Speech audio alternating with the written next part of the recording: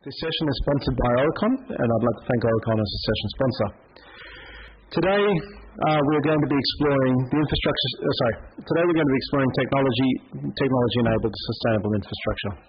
The infrastructure sector must develop and maintain long-term assets that will meet changing demographic needs while generating net zero, resilient, inclusive outcomes through the whole life cycle, from planning, design, and delivery to operations and beyond.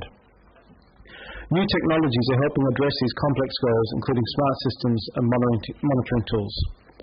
Today, we will have an initial keynote address from Alex Grant, the Investment Director for Business Development and Transactions for the Australian Renewable Energy Agency, looking at the future fuel strategy, and then we'll into a panel session. So without further ado, and noting we're a little bit under uh, over time, Alex, over to you. Thanks, Patrick.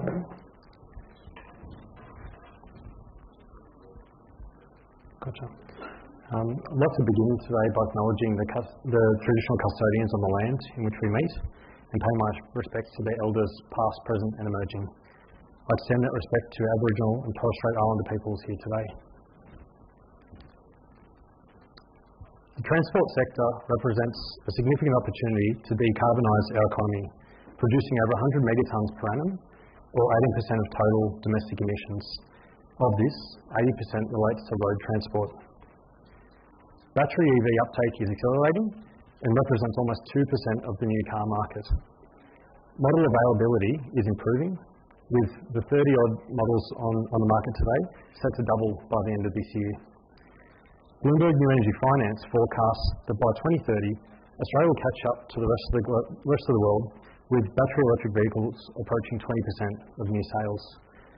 I'm Alex Grant from the Australian Renewable Energy Agency, and I'm here today to discuss the transition to zero emissions vehicles in Australia with you. Our energy system is intrinsically linked with the broader economy, and these linkages are compounding, no more so than in the transport sector. While we're at an early juncture in the transition to zero emissions vehicles, decisive action is required now to take advantage of the opportunities arising from this period of disruption.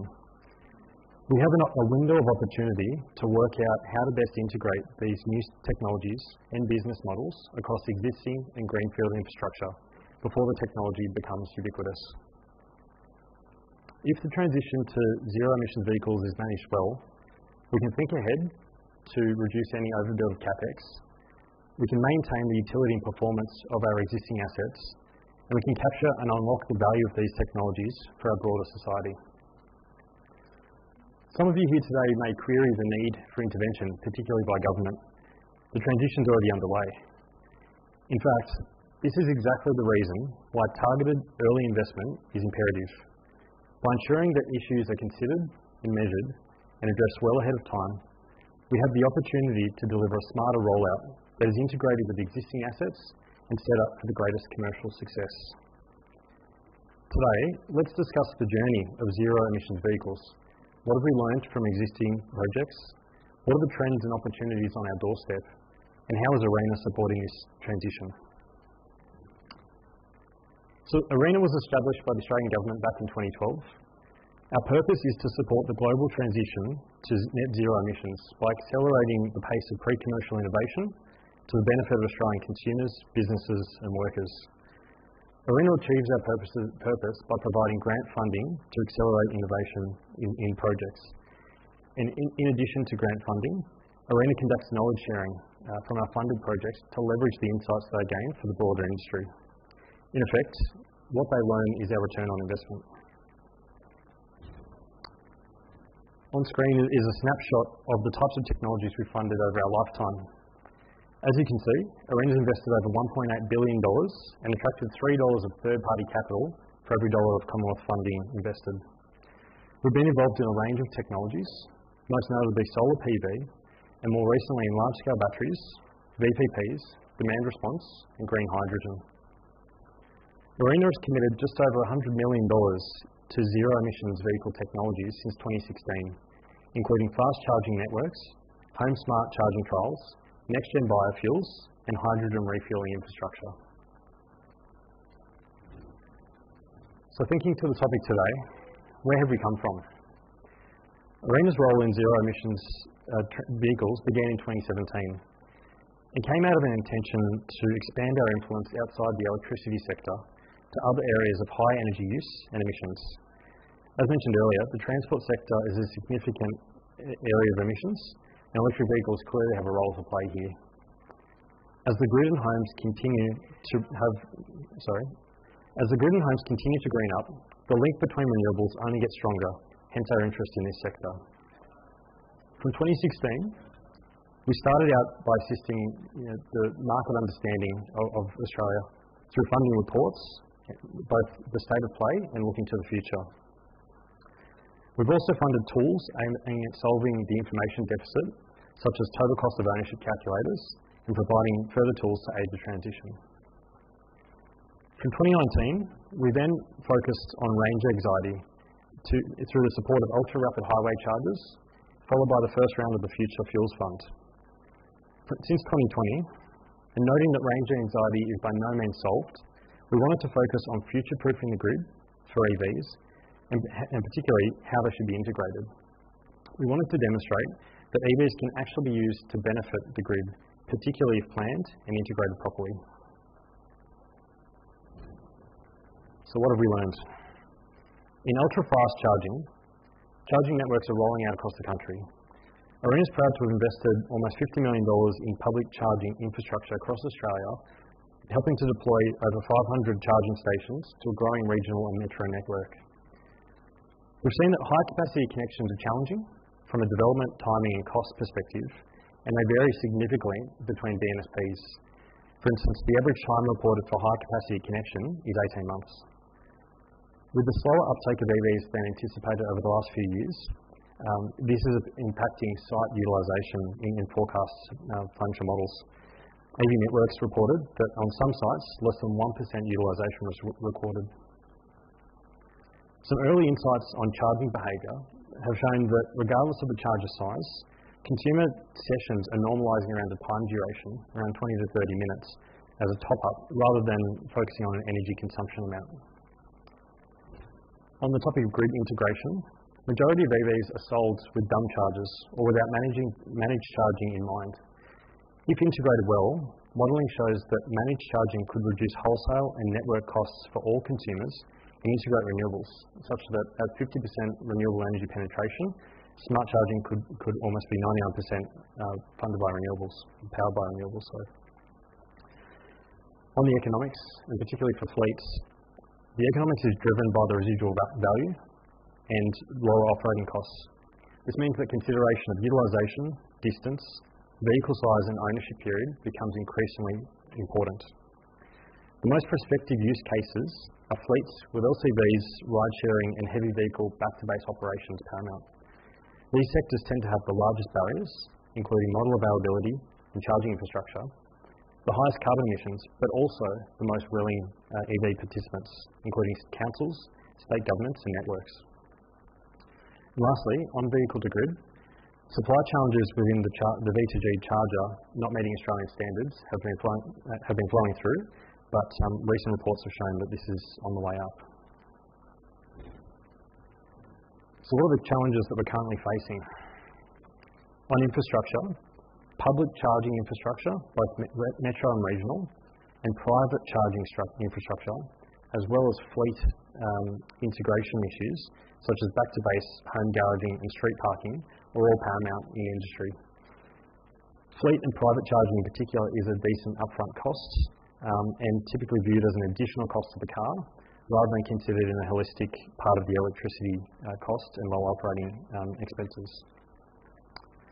In grid integration, EVs are predicted to be the fastest growing demand category in the NEM from the mid 2020s, with over 1 terawatt hour of new consumption forecast in the late 2020s.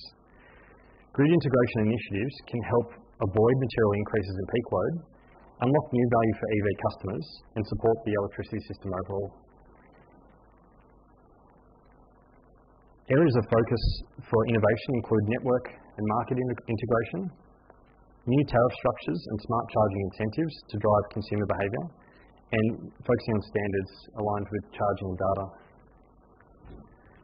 On the economics, the high upfront cost is not always factored into the, the analysis of a TCO. This residual value risk stems from the lack of a second-hand market.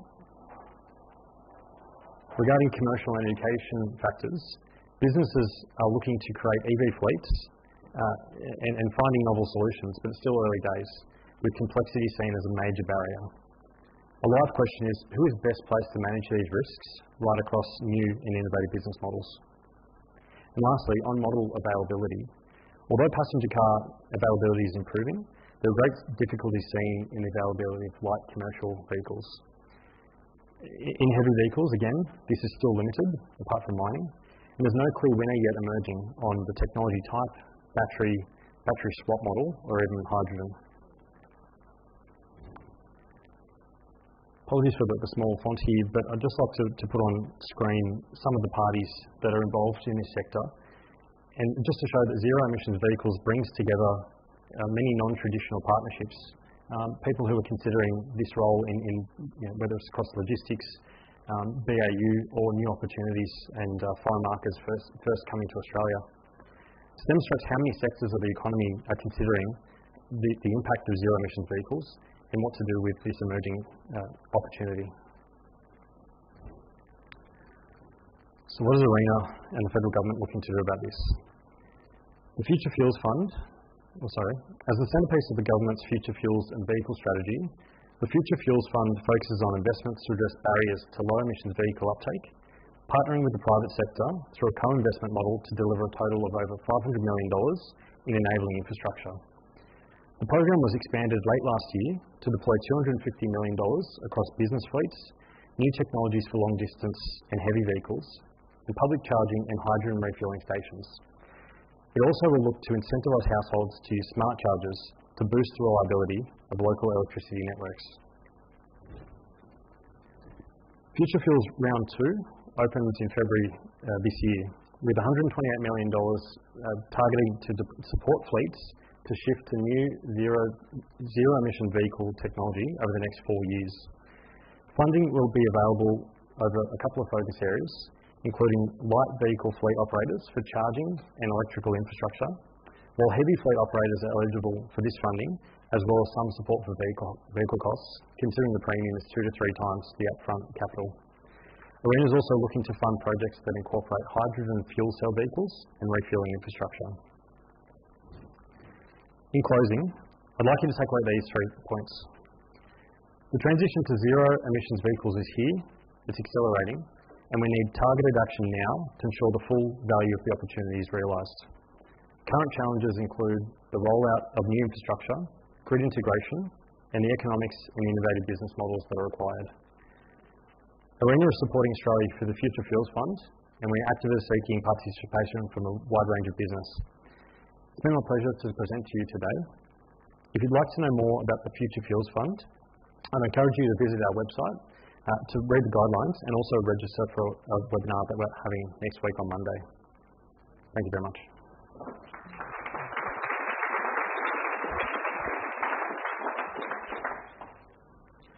So we're now going to move on to a panel session. I'd just like to introduce my fellow panelists. Um, Firstly, Noriko Wynn, Futures Research and Strategic Foresight Lead at Aurecon, a global engineering and design firm many of you will be familiar with. Noriko works with Aurecon and its clients to plan for the future in an uncertain world. She draws on a multidisciplinary background to anticipate how and when change occurs in different types of systems. I'd also like to introduce uh, Sasha Chandler, partner within the Integrated Infrastructure Team at PwC Australia. PwC Australia is a multidisciplinary firm that works with businesses, government, and the community to deliver solutions and sustained outcomes to help Australia continue to thrive. Sasha leads a team that's tasked with the design and development of contemporary technologies focused on infrastructure risk prediction and modelling and project stakeholder engagement solutions. And virtually, I'd also like to welcome Andrew Malcolm, Chief Digital Officer at Austal, Austal is a global defence prime contractor and world leader in the design, construction and support of high performance defence and commercial vessels. Andrew is responsible for defining group level strategy and leads implementation of commercial strategic initiatives as well as Austal's R&D function, including projects to design zero-emissions fast ferries powered by batteries or sustainable fuels, advanced manufacturing technologies, and smart ship systems that utilize machine learning to optimize vessel operations. So the typical question is, who'd like to kick things off? Um, one, one of the themes that we were talking about earlier this week was that infrastructure is an investment enabler to unlock the energy transition in the broader transport sector. Um, open to the floor as to who'd like to kick those off. Maybe Andrew? Yeah, sure. And please stop me if, if the audio is not clear. That's all. Loud and clear, thank you. Excellent. Yeah, so with, uh, with ferries as an example of, of uh, floating infrastructure, um, they're uh, a key part of any, uh, any location uh, or city which, which, uh, which, puts them in place.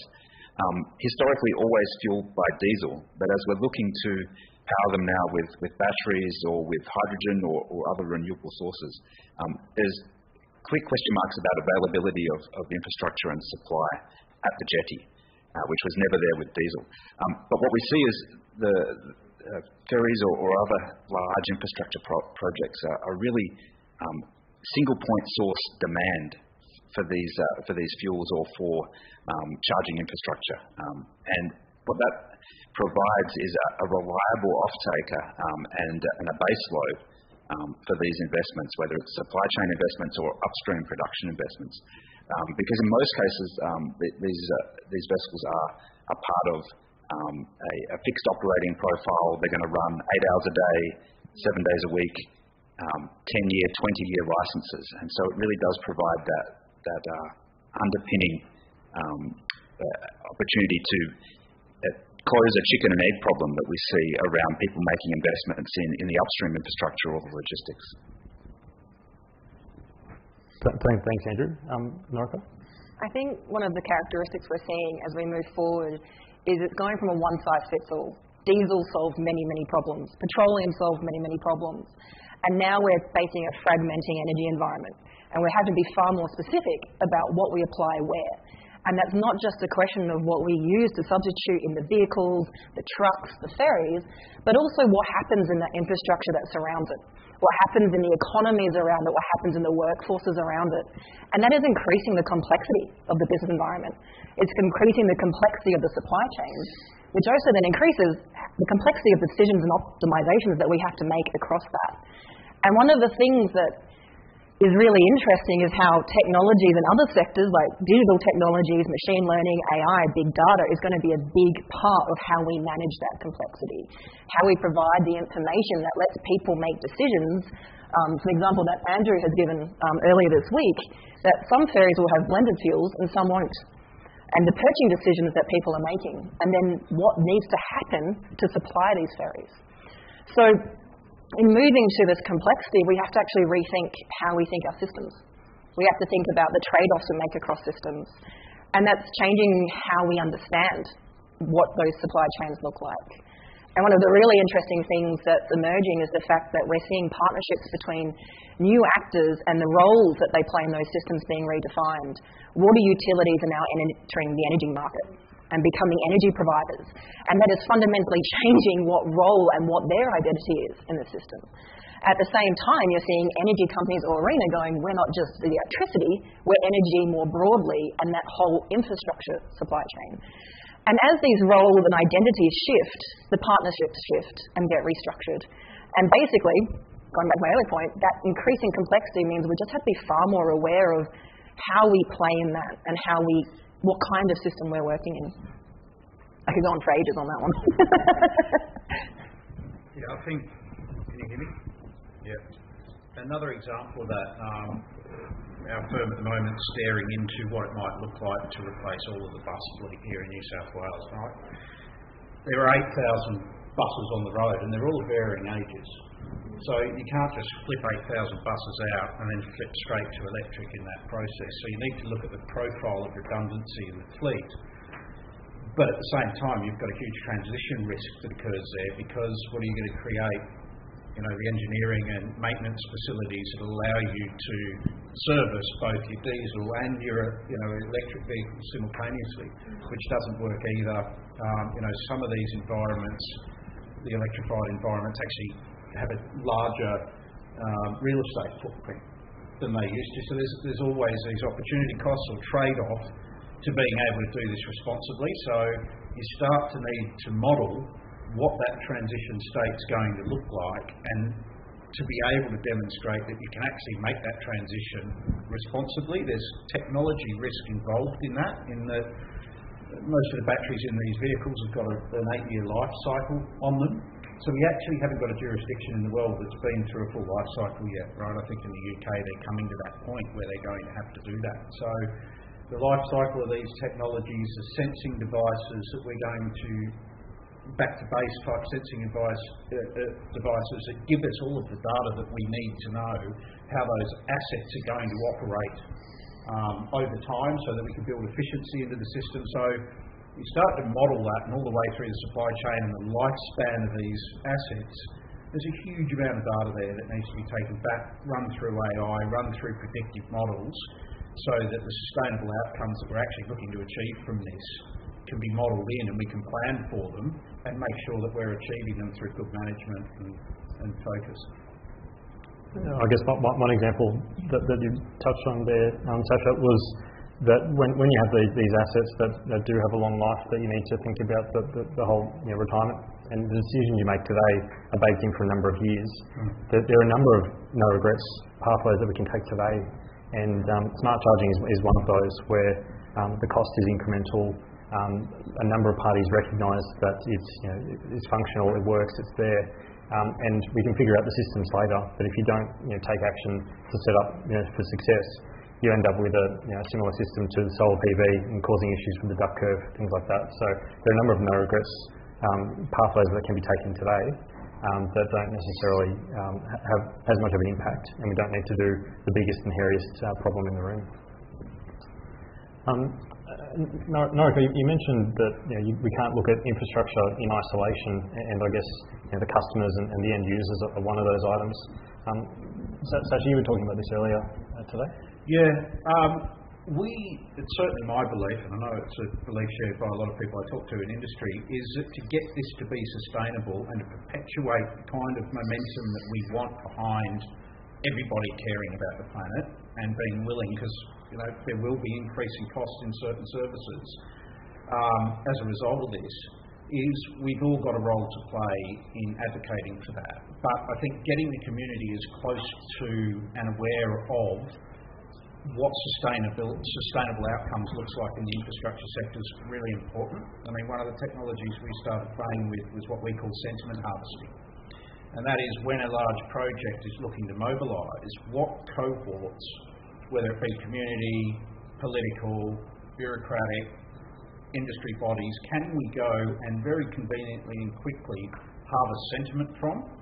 so that we can see what people's expectations are of these assets, but then based on those expectations or interpretations that the community have about what these investments are going to um, yield, allows us to be able to communicate on an ongoing basis because you come out of the design of these and then you go through the build and it can be disruptive, you know, in those community spaces.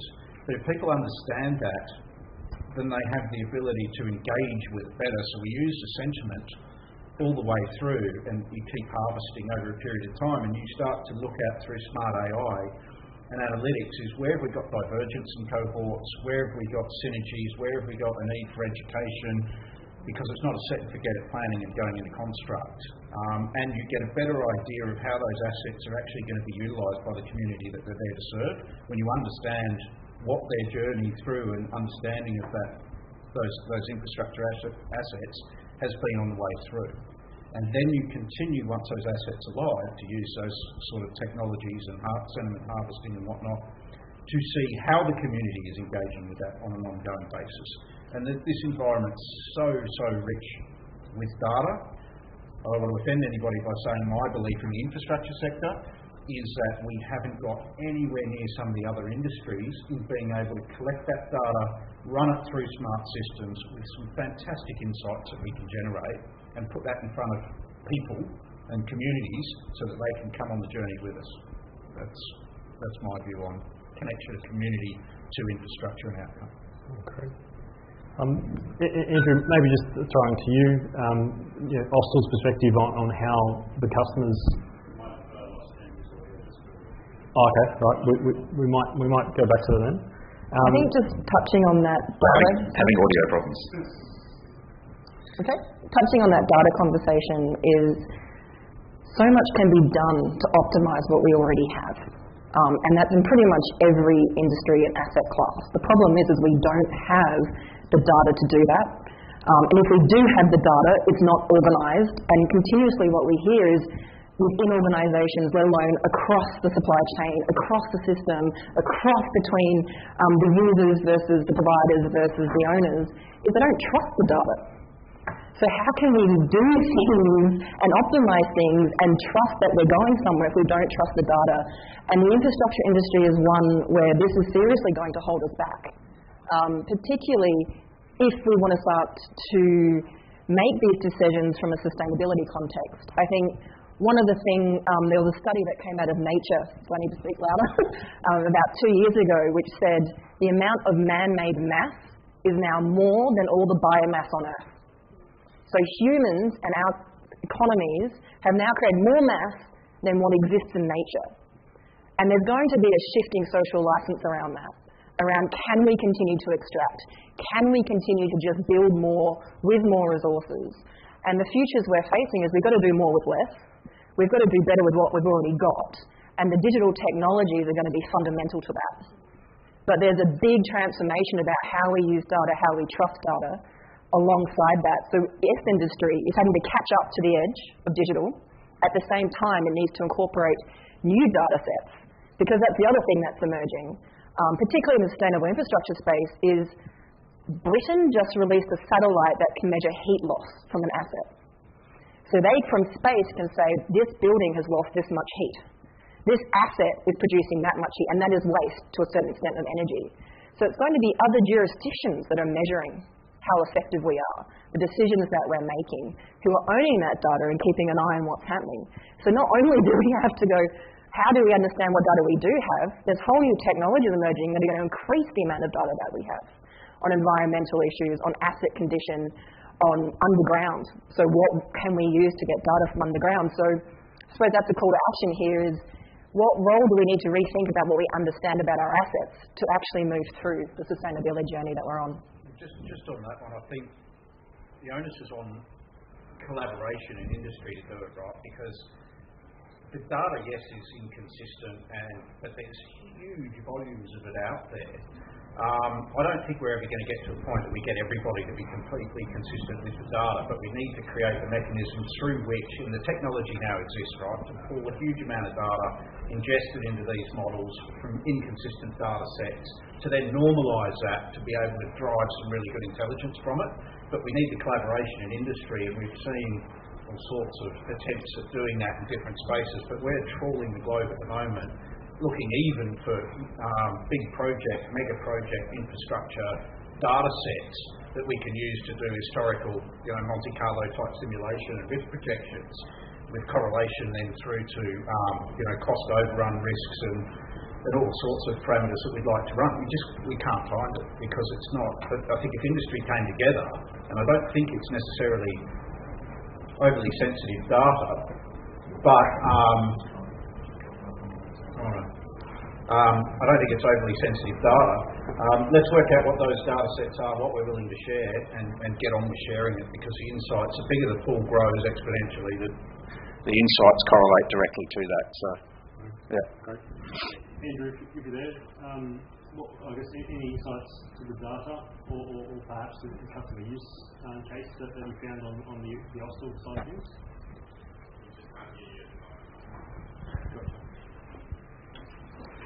I'm still not getting audio.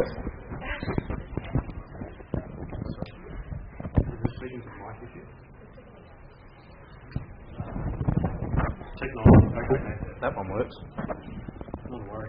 Um, I I guess there there was one other topic which was raised during the week, and that's just given the complexity of the sector, um, the need for systems thinking and even systems of systems thinking uh, i- i- is going to be required for current constraints, let alone those that come through. Um, Noriko, can I ask for you to comment on that? Sure. So I think what's really interesting is that, mm, well, I mean, I work in the innovation space as well, and so the question that comes around where do you innovate comes down to understanding your value chain and knowing where you can do something differently. And so few organizations actually understand their end-to-end value chain and then how it might interact or intersect with another organization or the community or the broader system. And so part of what we're seeing as we need to move forward is a deeper understanding of the adjacent systems to us, um, to whatever part of the system that you're in. A deeper understanding, and not just how it's structured, but the flow. Is it the flow of information that's the constraint? Or is it the flow of materials? Or is it the flow of people or the flow of ideas? Um, is it the flow of energy? That's an issue. And we need to understand the systems at different levels. We need to understand how the systems interact. But increasingly, we're seeing how do we get the systems to work together? Um, how do you coordinate across systems? So I've got a couple of examples of this. Is we talk about autonomous vehicles as being a sustainable transport option going forward. But then we have the question of how does the autonomous vehicle system interact with the light rail system, interact with the train system, interact with the mobility as a service system. And we can't make decisions just based on the autonomous vehicle system. It's how do each of those systems need to coordinate. And right now, we're struggling to go, well, what decisions and trade offs do we make across them? And we're shifting from having to make decisions just based on a mode of transport across all modes. And at the same time, we're having to shift between complexity of actors within that system. So that's just um, one example. I think there's another really example, um, listening to the talk before this one, about we have to start thinking about nature-based assets and offsets across regions, which means you're not making trade-offs within a region anymore. You're making trade-offs across regions for biodiversity and understanding some of those interactions. So we have to have the capability to go down into the detail, but simultaneously move up and make decisions across all those scales and across different types. So we've got to now have an increase in literacy thanks to the Task Force on Nature disclosure around biodiversity. We've got the literacy around climate change, literacy around decarbonisation versus net zero. Um, and we're facing a, a population that's only, to a certain extent, learning these topics, learning about the complexity within these, yet we're going to have to accelerate to go even further and go faster. So when we think about systems, we've got to think not just about the system we're in, but the other systems we interact with, which takes a very different way of decision making as well as you go forward. And is that, is that race for electrification and battery and all that? I was horrified. I was sat in something on the 18th of December, just before we all broke for Christmas, and we had a speaker there that was talking about the fact that the demand for the inputs to battery production outstrips the potential supply by many times, right? So what does that mean? That means we're going to have this rush to pull the stuff out of the ground and to get it onto ships and to get it overseas and to get it manufactured into batteries.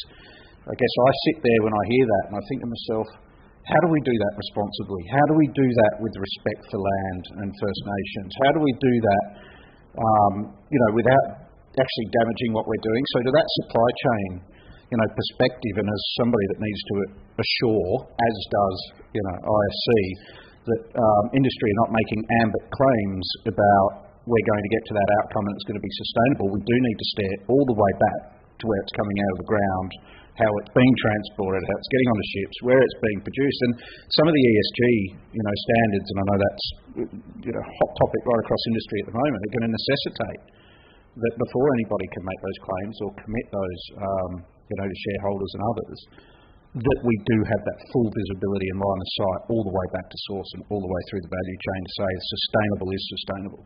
You, you, it's interesting you mentioned the front end of the supply chain because increasingly around electrification of transport, we have to start concerning ourselves with the other end. So we've got batteries, we've got solar panels, and some of these haven't even gone through whole of life cycle, hmm. and they're not recyclable. And so what do we do as these technologies come offline, get replaced? We've got these in some cases, quite toxic waste. And so we're seeing movements around um, mandating recyclability of batteries and regulations being proposed to say 30% of battery material has to be recycled, which then creates whole new industries in the ecosystem too, whole new actors, whole new players. And I think it's those technologies um, in the sustainability of infrastructure space that lets us do better at the other end. It lets us make better use of existing materials, lets us reuse things, lets us find secondary markets. Um, design for deconstruction could be huge for the infrastructure industry, particularly when you couple it with 3D printing.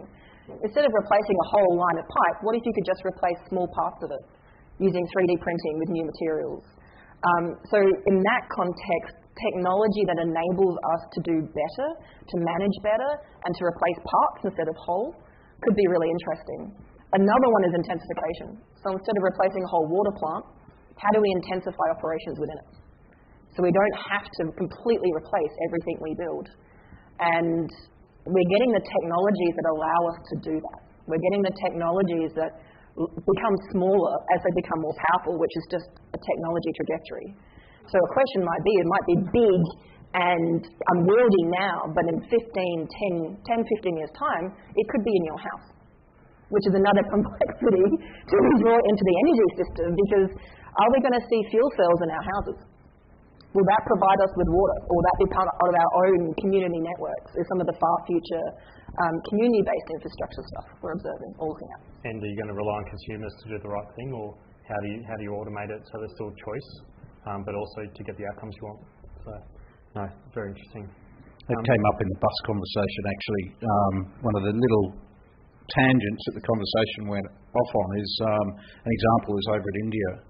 The buses can be taken instead of sitting them dormant overnight. They take them to villages, and they actually are a power source for the entire village. And you think about the situation we find ourselves in now with the flooding and whatnot, but and remote communities being stranded. Just how important an asset like that could be um, so that utilisation and the optimisation of um, how we can use these assets for our communities is something technology is definitely enabling for us. And, and, those unintended outcomes too, where people buy a car and they think like for like, you buy a battery electric vehicle car and you plug it in, but actually you've got that you know, potentially vehicle to grid capability, resilience, mm. and then how, how, do you actually orchestrate that? Um, big, big questions, um, stepping stones there. But um, well, that's a really interesting piece that I'm exploring at the moment about vehicle to grid, because that changes some of the public sector or public transport dynamics. That some of the futures we see and that we would promote sustainability or increase public transport use or um, shared economy. So you don't own your own car. But what impact does vehicle to grid, where your decision is I'm going to have my car as part of my home energy system to power my batteries, does that mean that we no longer, or it's harder to move to a sharing economy space? Which some, and I'm not going to put a position on this, say is actually the more sustainable option if you take a full material life cycle analysis. So there are these interesting ways in which different technologies interact with each other and how people use them that actually shape the broader infrastructure environment. Um, one of the things that I do in my work and in my field is we talk that we shape our technologies, so we build these technologies, but then how we use them changes the technologies themselves. When they get put into communities, um, when we then adapt how they get used, that changes the technologies again. And that's the really interesting questions because we only ever really tend to ask what happens when we put a technology into a community, into a network. We don't tend to ask how will that network change the technology. Mm. And that's what comes next. And that's where you then get more fragmentation and next wave of innovation. And another point to that is it's so context dependent. A city, every city is unique as a fingerprint. Communities have got unique assemblages. So how they interact with their technology um, is going to change how it might evolve through that space. In India, we're seeing buses being used as secondary power sources. Um, but in other places, they could be forming part of the grid firming when they sit idle in the depots. So understanding that community interaction and what comes after becomes important because that lets you anticipate how things might get shaped, community acceptance, but then also when you go to design to implement these technologies, their acceptance, whether or not people want them, how they might use them, um, how frequently they get used, which then has maintenance implications. Perfect. Um, we're going to move to Q&A in a second, sorry. So please pass through any questions you may have. Um, maybe just to kick things off, um, Sasha, can I ask you, what's the best-kept secret uh, that you've come across in the last six months with regards to sustainability in infrastructure? I've only got certain clearance to discuss some of that, but putting you on the spot there, sorry. Uh, look, I had a chat with my kids the other day about this particular session, right? And I said to them, because one of the things that we're doing that just fascinates me, because I used to love playing SimCity as a kid, right? Um, is you can play SimCity now with some of the data that we're getting, and I was looking at some commuter patterns the other day, right? Onboarding, offboarding trains, buses, and having a look at how Sydney's grid moves people around at certain times of the day. Now, if you start to extrapolate out from that, your ability to play SimCity gets really cool, right? Because you know where people are going to be spending money on coffee at a certain time of the day, and you can start building commercial outcomes around that sort of stuff. But I took it to the nth degree because one of my other roles has been in uh, distributed ledger technologies and you'd need to understand all the actors in an ecosystem to, you know, fully appreciate the value that can come from distributed ledger technologies. So I was saying to my kids, if you knew in a com- in a commuter system that you could make your own choice about the most sustainable path you could take to get from A to B, would you do it? Well, that'd be really cool, Dad. You know, and I've got four kids from um, 19 down to seven and they're all fully engaged with technology. And like my son said, yeah, I'd like to say I want to take 10,000 steps to get to there where I can get an electrified bus to then get on a train network. And I'd love it if somebody could tell me what consumption or what he didn't use those words, but um, then you get to choose your own journeys. And to me, it's not the best kept secret. To me, I'm seeing this stuff emerging, and I'm thinking with some really cool people um, and partnerships to work out what's the final community engagement outcome that we can get. And I've seen some amazing stuff that we're able to do in that space. And yeah, there's, there's a few secrets in that. But it, to me, uh, you probably heard my theme is all about connection of community to this because they're the people that are going to keep giving us the ability to invest. Come on. And I think to some very engaged kids there, so um, well done. yeah, they are. Get them into Apple. Yeah. No, Noriko, best kept secret? Um, I might do the politics one to go best um, thing that excites me and just answer the question. um, so, as with a past life in ecology and botany, I think one of the things that really excites me, and potentially a best kept secret, is the role that plants can play in technology. Um, there's emerging studies that mosses are just as effective at measuring um, air pollution as a man-made sensor. And so, and it's a renewable, te- it could be renewable technology, and it also can help with greenhouse cities at the same time. It can also be found to absorb air pollution. So I think for me is the emerging field about using plants as technology, plants as sensors, um, integrated into a broader um, our human economic systems. Great, great. And just just checking one last time, Andrew, um, best kept secret over in the west. There's no Wi-Fi. Over to you, Andrew. So I think the audio is back. Yes, Can I get a, perfect. a nod to confirm? Excellent. Um, your best kept secret from us, I think, is probably uh, just how far Europe has moved, and, and it's been difficult to get a sense for it through the last two years, um, remotely and, and not being in that market. But the um, the the pull from the customers that we're seeing, and the, and our customers are, are ferry operators, so their customers are pulling them, is quite incredible. And I think we're going to see that, that uh, play out uh, in the market here as, as we all start travelling again. No, per- perfect. Um, maybe one from me, and one that needs to be louder, is that the technology's here. Um, there, there's nothing to wait. The heavy lifting can be done.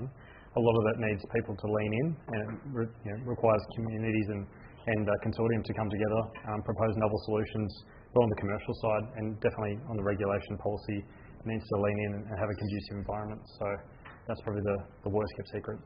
Mm. Um, not, not getting any questions through the Q&A app, so maybe open to the floor if um, there's a couple. Any, any, any hands maybe? We do have quite a lot in. Oh, do I? Yeah, maybe. Oh, sorry about that. Right, thank you. God. There is a lot. Gotcha, and there's a couple starred. Do you want to grab a mic and read them out? Yeah. Perfect. So um, maybe one, one from Danielle Graham. Um, speaking of trade-offs and incentives, what do we think about a price on carbon?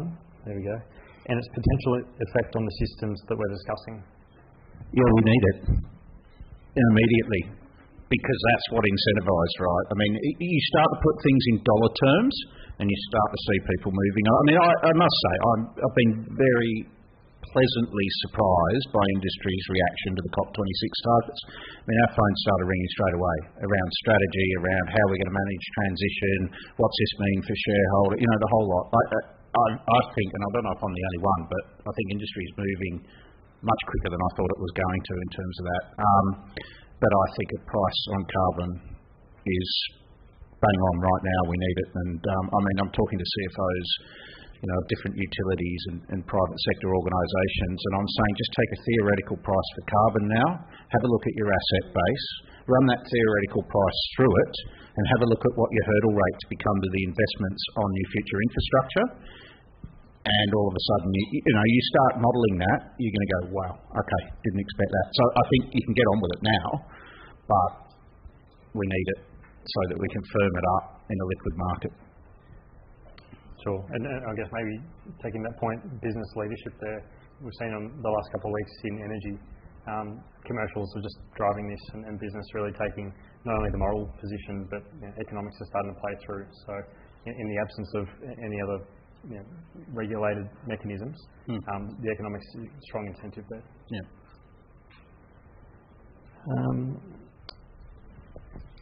May- Maybe one maybe one on this for you, Andrew. Um, I've seen a mention of ammonia as an efficient and effective energy storage fuel with higher energy density than hydrogen. So I guess in in some of the the solutions you're looking at, does ammonia fit into that equation? Yeah, absolutely. I mean, the, the shipping sector has, has lived on fossil fuels happily um, because it's such a, a versatile fuel. And what we're seeing is a real fragmentation across different types of vessels and what will be suitable and what will be feasible. Um, and and every, every one of these alternative fuels actually has a different role to play. Um, one of the big concerns in the passenger ferry market, and, and, and I guess it, um, related to to uh, the infrastructure space is um, toxicity with ammonia. Um, so while it- it's superior on, on, on other other sort of factors around uh, handling um, and um, some of the constraints on, on, mass and weight, um, there's a real question mark about uh, s- safety concerns um, when we put that on board a, vessel with a thousand passengers, for example. So, uh, not as clear that it will be a solution for the ferry market, but uh, a lot of the, the other shipping sectors are looking very very actively at ammonia. Great. Thank you. Um, Sasha, question for you, just relating to the the bus example you mentioned earlier. If we convert to zero emissions vehicles by 2030, what do we do with all the existing fossil fuel vehicles, such as buses that may still have a residual operating life of 20 to 30 years? Yeah, and that's what I was talking about in terms of understanding how you do that responsibly through that transition period. I mean, there will always be a market for those vehicles, well, over a period of time, probably till the end of their life. I don't know yet what the technologies look like because obviously, can you retrofit an electric powertrain, you know, to what was a diesel chassis, diesel engineered chassis? I, I don't have the answers to that. Um, and I don't know what percentage of that bus is recyclable, you know, either. Um, so I don't have an answer to that, but I, you know, it's certainly one of the issues in during that transition that we need to be aware of because we could run at it, as I said earlier, and do it completely irresponsibly in the process because we need to be able to recycle those things on the way through.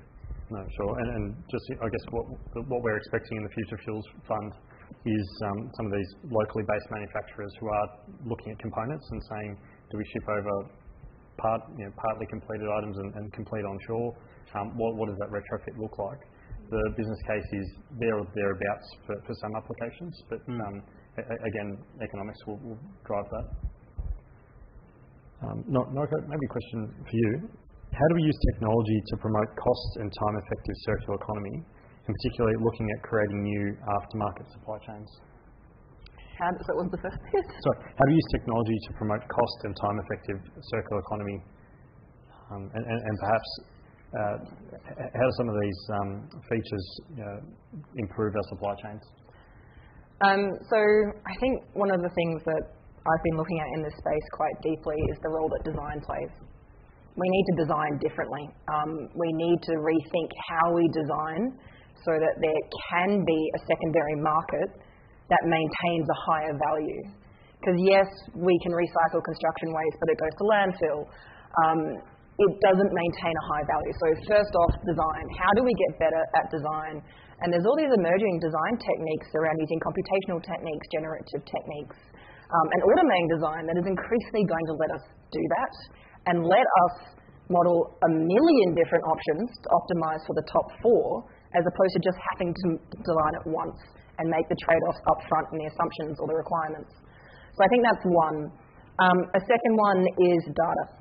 Once again, back to data. That's one of my um, bugbears. But we increasingly need to be able to track those assets through the whole life cycle to create those secondary markets. We need to know what's in a building or what's in an asset. Um, we need to be able to say, once we do go to deconstruct, this is where we can either repurpose it within our own asset base or then start to create those secondary markets. Um, and then lastly, I mean, this is a pretty simple one, is the fact that we can create online markets with greater transparency now. That the information asymmetries are reducing, in theory, um, which should help that. But it starts up front with designing differently. It starts up front with rethinking material usage um, and we do, once again, have the technologies to do that differently now. Um, and then I think part of it is just people willing to have the courage to do it, is that last piece. So, what are the social technologies um, that will let us do that too? Great. Good. Time for one more. Um, might, might, take the moderator's uh, prerogative then to ask and answer a question, but um, the question came through what are the ideal locations for public zero emissions vehicle charging infrastructure? Uh, are train stations an appropriate location? And uh, th- this area, I- would love to actually see some of the data behind it, but it is fascinating what people consider to be you know, the, the, the, BAU approach. Um, there was an interview with Tim Washington, who's the CEO of JetCharge um, on Renew Economy last week, they're looking at uh, long distance trucking. And so typically, if you have short times to refuel in, in trucky breaks, um, you can't just get that level of charge uh, from a, from a um, fast capacity. So, you know, do you have uh, stops along the way, along the highway? Do you look at regenerative charging um, along sections, you know, where, where they might have to either pit stop or, or wait? Um, and this is really opens up what does hydrogen play in the space as, as, a, as a liquid fuel um, and, and, biofuels too. You know, the potential there, um, maybe a sleeping giant of Australia, and if something can be dropped in using existing infrastructure, is that a transition option? So th- these are all questions where um, having a multitude of technologies available is important, um, but really looking for that business model and that, that commercial gap to be filled. And um, I, I, don't envy uh, the logistics people at some of these uh, organisations to fit in uh, that overlay of when do you charge versus um, truckie scheduling versus vehicle usage. Um, do, do you run your batteries down a certain way? Do, do, you know, if you're looking at the, the fuel stop pit stops, do you install you know, 40 megawatt chargers or do you look to distribute the, the load there? So these are all fascinating questions which um, we expect through the Future Fuels Fund to be learn by doing for some of these big organisations and to, to lean on some of these new partners coming in with smart solutions that um, can take some of that risk away. Right. So we're almost at time. Patrick? There's one more. I think the interesting question on that is so often we use just direct replacement we replace something with something else and then expect all the processes to stay the same around it. And we've been seeing this in digital technologies, and why we're probably not achieving the productivity we could is because new technologies let us restructure the processes, the behaviours, and how we use things and understand things. So before are they using decisions based on their existing assets and operations, or they're thinking, how do these technologies actually let us recreate and restructure and become more efficient? And are they thinking about what could change with the introduction of new technology, as opposed to we're just going to use this new technology to extend BAU? And the extension of BAU is a fundamental question of is this sustainable or not? Or can these new technologies help us become more efficient? Um, and that's what we see time and time again in the digital space. And I sort of see sustainability as the next big transformation that we have within organisations, at least. Is what do we restructure around the new thing to rethink how it operates? Sorry. No, fantastic. Robert?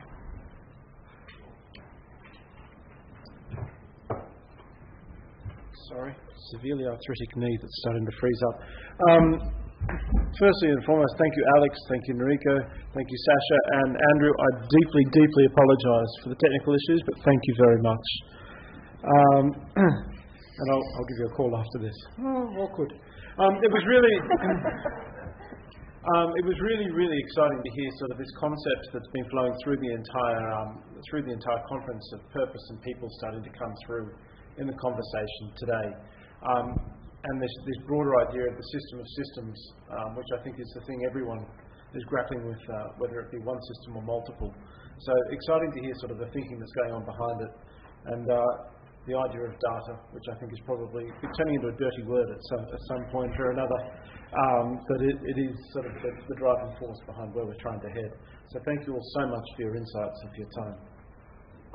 Um, as many of you are aware, at the ISC, one of our core purposes, one of our core functions is the certification of sustainability outcomes for infrastructure. And while we're in our networking break uh, that's coming up right now, we will be certifying a number of projects. So if you would like to hear about some of the great outcomes and, and touch base, we have uh, the LXRP uh, packages um, being certified, WestConnex M4 M5 tunnels being certified, the, CB, the CBD and Southeast Light Rail project being certified, Western Sydney Airport Earth, uh, Earthworks being certified, the Toorak Road Level Crossing Removal project being certified, the Northern Connector, Parramatta Light Rail Stage 1, Pacific Motorway Upgrade, uh, M1, M3 Gateway Motorway, um, the highway, High Street Reservoir Level Crossing Removal Project, and NorthConnex. And if anyone can actually repeat any of those back to me, uh, there's definitely a chocolate frog or something in there. Um, but please join us for the certifications. You'll see the big media wall and, and the certificates there. Other than that, I'd like to thank Transport for New South Wales as our, um, as our platinum sponsor and thank Aurecon for, for sponsoring this session. And thank you all so much for your time and look forward to speaking to you at networking. Thank you.